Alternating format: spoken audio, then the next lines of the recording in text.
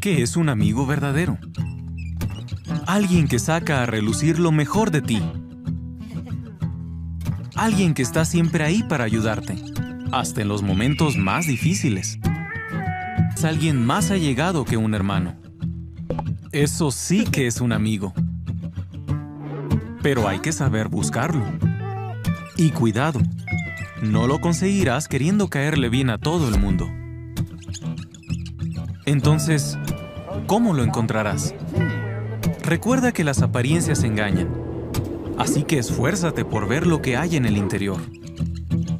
Busca un amigo en quien puedas confiar, alguien que sepa perdonar y que no te eche en cara tus errores.